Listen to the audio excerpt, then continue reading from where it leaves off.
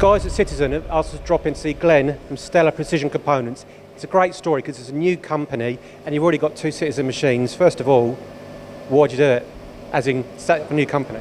Uh, we, me and my partner, both worked for several different companies. Uh, and I think once the idea's in your head of wanting to do it, you've, you've kind of got to try it. Um, obviously, it's a big financial impact, um, no regrets, definitely not. No. So that gives an incentive to everybody out there if you want to start their own company. But I mean, we'll talk about the machine obviously. But two, you've got two brand new Citizen machines here.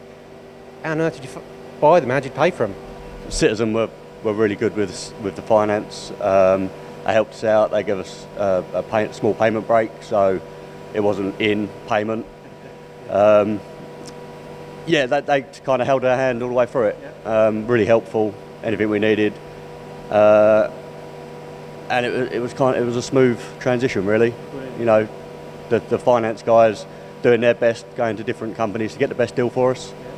Um, yeah. So basically, just that whole operation was really, really smooth. Now you've got the machines, you've got your A20, but we're going to have a look at the L32 with LFV.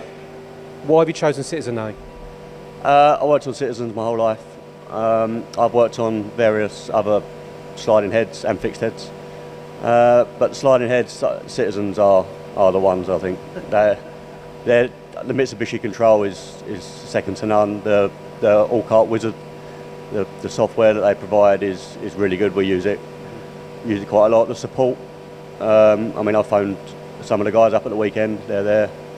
You know, it's the way it is. But yeah, no, helpful, and the, the machines speak for themselves. Okay, when you say the Mitsubishi controls though, why are they so good to use? Fast, easy, uh, what is it? It's, it's, it's a clever software compared to some of the others, I think. Um, once you know it, once you're in and you're in it, it's, it's easy. It is an easy software. Now the machine you've got here is an absolute beauty. It's the L32 LFV, so it's going to hold 32 mil bar, obviously. Yep. Can you go a bit bigger than that though? Yes, we recently bought the expansion kit, which takes us up to 35 mil. Now you've also got three meter bar feed. Yep. So what are you what are you actually loading in that in terms of materials? Uh, we've we've machined anything from copper, brass, bronze, stainlesses. Some nice soft steel, I heard. yeah, soft iron, soft iron. Sorry, I was right. Sorry, iron, not steel. Sorry about that. Yeah, soft iron. That was. Um, to be fair, with the LFV, it worked worked well. So in the actual envelope of the machine, what have you got in there? We've got seven driven tools, uh, face driven, cross driven. We have a manual B axis for angled, cross driven, tapping, uh, drilling, multiple drilling. Uh, LFV, obviously. So in there, essentially, you've got a load of tools that make enable you to do some really complex components, which we'll also come to. So LFV you mentioned. Why have you gone the LFV option? The LFV, I had never had no experience with it. This is the first time I've used it. Uh, and to be fair, you don't look back from it. It's we we machined some copper recently, and copper can be a right pig, and uh, it just chipped it up into the bottom, lovely out out the back. Okay, because your partner was saying, you know, you're having to do like five components and then go in there, clean the swarf. Now you can run it lights out. Yeah, that's right. Lights out production with the LFV is is, is there. And the, the soft iron, I understand someone else couldn't actually machine it, but you're able to with the? LFV. Yeah, the LFV, uh, we thought we'd go through quite a few inserts turning it, but the LFV done one tip, done the whole, ba- whole batch. So So with the LFV, obviously massive fan, I have the Alkart Wizard, Mitsubishi controls. Is it easy to actually control the LFV, changing amplitudes and things like that? yes, um, that's really easy. All of the info is on the wizard, so you can you can call it up, tell it what chip size you want, um, the spindle speed, and it will give you all your all your data. Yeah, nice and simple because you're a first time user of this. Exactly, yeah. I think what we should do is just talk about some of your parts because you've got some nice parts. First of all, the bronze part. Talk me through what you've done with that. So the bronze part, we uh, we make batches of 2,000 at a time, and we interpolate mill the cross hole in it.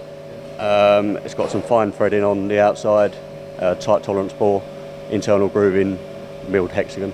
Making it sound easy, but you know, you, you, you've got your milled flats, for example, and, you, and your threading. I mean, it's really fine threading, but the the, the, uh, the cross drilling is actually interpolated, not straight through. Yeah, interpolate milled. Yeah, So not, not nice and easy. yeah.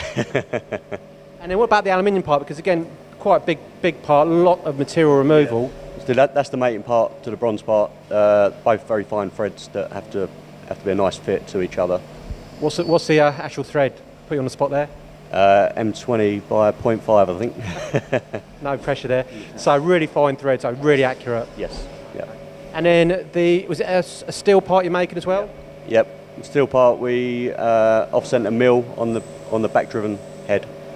Um, again, Citizen helped us out with that. Um, and yeah, end up. So you seem, seem quite relaxed about it. So it make it sound really, really simple. so the whole thing, it's been a great journey from you know setting the business up, getting the finance, getting all installed. Obviously, massive Citizen fans and love working with them. If Neil from Citizen knocked on the door, would that be your next machine? Not yet, but the next machine definitely would be a Citizen. Excellent. Great. Thank you very much.